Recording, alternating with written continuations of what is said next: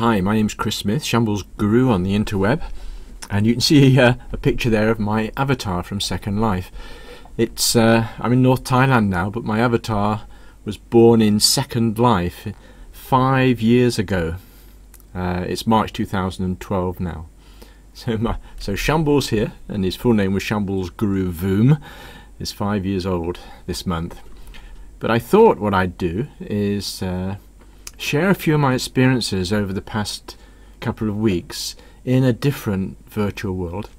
Um, one which I, I, may well move a presence into, if not because it's cheaper than Second Life. Second Life's very expensive, almost prohibitively so.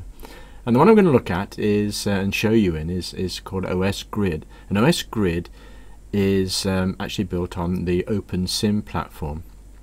And I have to admit, I was quite ignorant two weeks ago, and I've actually appreciated over the last two weeks uh, the amazing collaborative work that's going on there by enthusiasts. But let's uh, move in and, and have a look. Let me just uh, move into uh, some information before we go in world. Um, there is an area on Shambles, shambles.net slash Second Life, because when I set it up it was only Second Life I was in, but it's much more than Second Life. And if you want to find out about uh, OpenSim more, then you come into this area, click on the button there, and you'll see a lot of information here about OpenSim. And in fact, this screencast I'm doing now, I shall drop it in in this place here. So OpenSim, they have a, a website, and this is the website. I'm actually on the About page, but it's www.osgrid.org. Actually, not OpenSim, it's OSGrid, but it's built using OpenSim platforms. Uh, and I'll explain more more clearly in a minute why, why it blows my, my mind so much.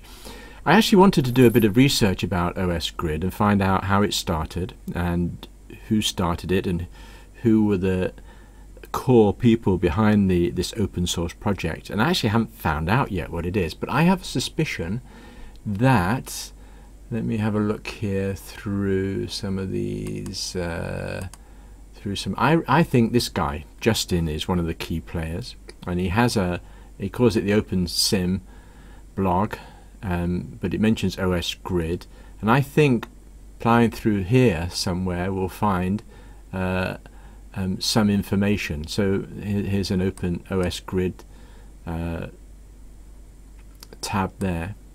there aren't many posts, but I think uh, searching around, I'll, I'll, need to do a bit more research about this because whoever the, the people are behind setting it up, they're uh, I have a lot of admiration for them and would like to give them um, some uh, recognition.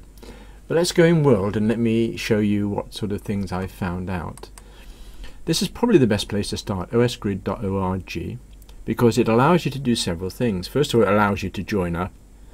Uh, you can just join here and uh, create an avatar name and uh, and then you can log in and you know change your profile and things like that. But that's just logging into their website here. You need a viewer. Now the Second Life viewer uh, doesn't work, I don't think, for OS Grid. So there is there are several other viewers, and that that's been interesting for me because you know which one do you use? And it seems, and the, the, and the ones that are uh, here are now not this first bit, but let's go down to here, viewer software. Um, this one here called Imprudence seems to be one of the most favorite favored viewers.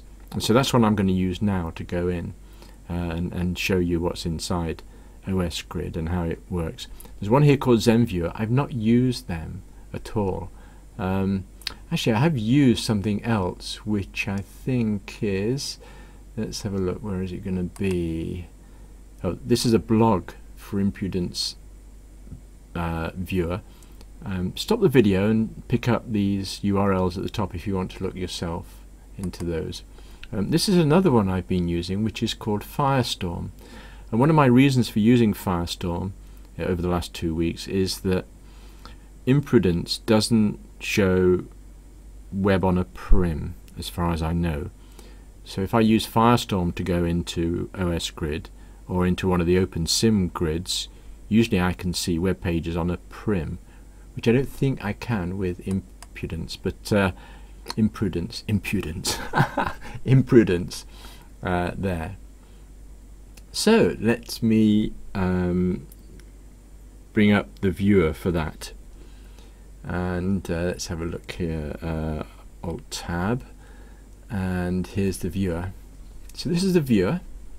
Um, it has a few uh, places down here recommending you go to, but there is one sort of uh, meeting point for everybody, which is this uh, area here. We'll look at that in a second. There's 132 people in the world at the moment. There's seven, nearly 7,000 regions. Now the important thing with this is that the 7,000 regions aren't run by or owned by the guys who own OS Grid. In fact, the guys who own OS Grid, I actually think only have three three sims, or maybe one sim even, or four sections. We'll see. Um, but nearly all of the other 7,000 sims are actually open sim uh, versions or instances which are running on other people's servers and uh, all around the world. They're not running on OS Grid servers, they're running on independent servers. You could have one running on your own laptop. And OS Grid has something set up which enables you to join their grid so people can hop from one island to another. We'll, we'll see it in a second. Active users over the last uh, 30 days, nearly 4,000 total users on total users, over 70,000 are signed up. So I'm going to go down here. I've already signed up. My name is Shambles Guru Smith. My password is, yeah, I'm, I'm not going to tell you, of course. Um, and we're going to the grid OS grid. Now, what you'll see now, which you don't see with Second Life, is in fact there's a whole load of different grids set up here. There's Reaction Grid, there's Rutgers University, there's a science sim, um, there's an, and there are others which I've not listed here, which you, we could actually be going to. And they're groups of sims, often set up by individuals and volunteers and funded by them as well. Um, and I'm going to my start location, which I've got as my last logging, but I think I'm going to change that to my home, which is the center of OS Grid, where everybody, many people go initially to, to meet. So at Grid Manager, I don't think I have to do anything else here. Just click on Login, and let's uh, just see how that goes. So it's given me an image of the last time I logged out from there. That's my avatar in uh, OS Grid. You can see I've, I've actually made him look very similar to the one in Second Life. Strange sociologists have great fun uh, with me in uh, different virtual worlds trying to look my same self. So here we are. So we're in Open Sim now. Now let me move back a little bit so you can see. I'm going to move back. You can see this is a welcome area. Um, and I suspect there will be people talking, although I'm not putting on sound at the moment. Let's just walk around. So the people that are chatting, let's just check in chat. Down here, left hand corner, chat. And uh, you if people are chatting publicly, you'll see it there. But they may be chatting privately, of course, in in IM. Let me reduce that. See, it took a few seconds there for the background to build up. If you arrive here, in fact, this I think is the only area in OS Grid which really belongs to the guys who founded OS Grid. This is the only area. And if I look on the map, you go down here and click on the map, you would probably see that well, there's a lot of people here in this Lbsa Plaza, as it's called. Um, uh, there are other areas around it, but I haven't explored those, so let me just close that because we're not going to explore them now. So let's have a look around here. So if you were coming into OS Grid for the first time, this is probably where you would arrive. And you'd have a, a default avatar, which would probably look like a bit of plasticine. Um, and one of the first things to do probably, let me just run here, is uh, come over to this corner and uh, choose an avatar and wear the avatar and then when you've got skills later you can do fancy stuff, go and buy some hair and everything here is free. There's no actual monetary economic system at the moment for selling. The other thing to do when I first came here, and somebody recommended me to do recommended that I do this as soon as I arrive was to come to this box and click on this blue box here. And I, will do that now. Click on the blue box and oh, so right click on it do more and take a, oh no it's giving me up here. It's giving me a landmark a list of uh, landmarks in OS grid. So uh, there are different places. I'll discard that.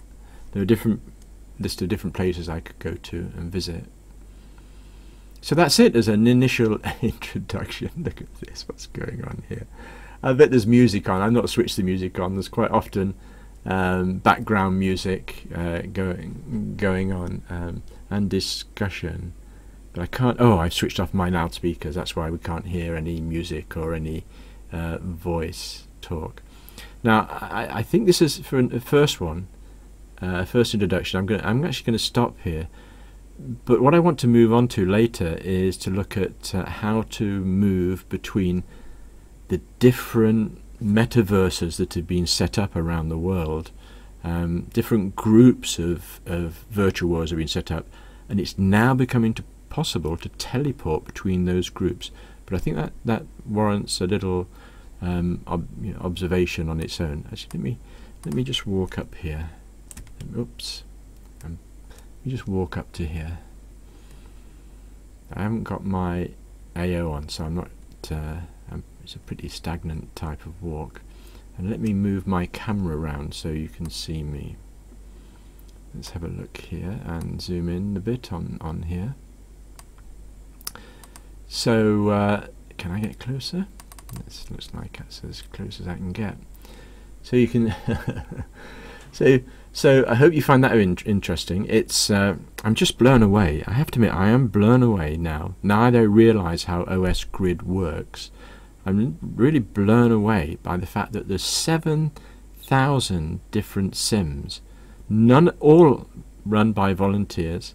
Uh, people own them themselves. They may even be running on their own laptop. An open sim, uh, sorry, OS Grid allows all these people to collaborate together and to link all this, all their different instances of OpenSim together in in this environment. Uh, a, an amazing uh, collaboration pro project, uh, and people seem to be very happy here from what I've from the discussions I've had in the last uh, in the last couple of weeks. So just to finish off, let me bring back the splash page, uh, and uh, so that you can pick up the um, where is my splash page here? So you can pick up the addresses that you want there, and uh, I hope you found that useful. And I'll be back with another one looking at how we can actually, uh, with one avatar, move among these different groups of virtual worlds. Have fun.